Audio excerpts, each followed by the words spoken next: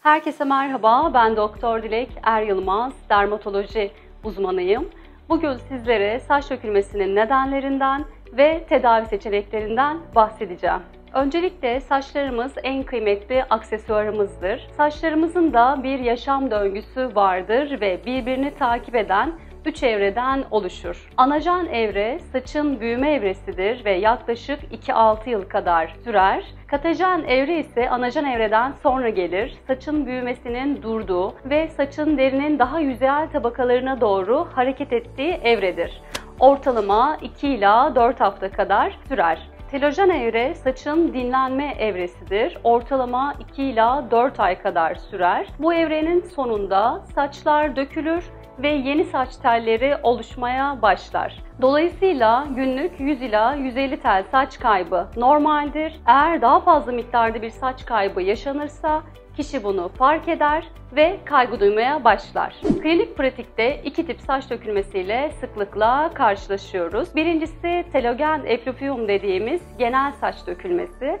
İkincisi ise androgenetik alopesi dediğimiz erkek tipi saç dökülmesi. Telogen efluviyum tipi saç dökülmesinde anagen evredeki saçlar hızlı bir şekilde telogen evreye geçer ve saç dökülmesi bu şekilde oluşur. Nedenlerine kısaca değinecek olursak geçirilen hastalıklar ve ameliyatlar, kullanılan bazı ilaçlar, kötü beslenme alışkanlıkları, tiroid hormon bozuklukları, mevsim geçişleri, doğum sonrası dönem özellikle doğumdan sonra 4-6 ay kadar yoğun bir saç dökülmesi yaşanır. Bunun dışında vitamin eksiklikleri özellikle B12, demir, çinko gibi saç için önemli olan vitamin eksiklikleri ve stresli yaşam. E, stres düşündüğümüzden çok daha fazla saç dökülmesi ve diğer bazı deri hastalıkları için önemli bir tetikleyici faktördür. Son dönemde saç dökülmesinin dikkat çekici nedenlerinden bir tanesi de korona pandemisiyle ilişkili saç dökülmesidir. Şubat ayında New York Times'ta yayınlanan bir makalede özellikle korona geçiren hastaların hastalıklarından 3-4 ay sonraki dönemde yoğun bir saç dökülmesi yaşadığı birçok doktor tarafından bildirilmiştir. Genetik yatkınlığı olan kişilerde bazı bölgedeki saçların testosteron hormon duyarlılığının artmasına bağlı olarak gelişir. Erkeklerde 20-40 yaşlarda başlar, daha çok ön ve tepelerde bulunan saçlarda seyrelme, dökülme, incelme şeklindedir. Yanlarda ve ensede bulunan saçlar hormon duyarlılığı daha az olduğu için korunur. Bunun dışında ön saç çizgisi zamanla geriler ve ilerleyen dönemde tamamen kellik durumu oluşabilir. Kadınlarda görülen erkek tipi saç dökülmesinde ön saç çizgisi korunur ve daha çok tepelerde bulunan saçlarda dökülme, seyrelme ve incelme şeklinde karşımıza çıkar. Bir hasta bize saç dökülmesiyle başvurduğunda öncelikle muayene ile saçların tamamını, saç diplerini, dökülme ve seyrelme alanlarını değerlendiriyoruz. Sonrasında saç dökülmesine neden olan tetikleyici faktörlerin ortaya çıkarılabilmesi için detaylı bir özgeçmiş sorgulaması yapıyoruz. Ve bütün bunların sonucunda nedene yönelik ve kişiye özel bir tedavi planı çiziyoruz.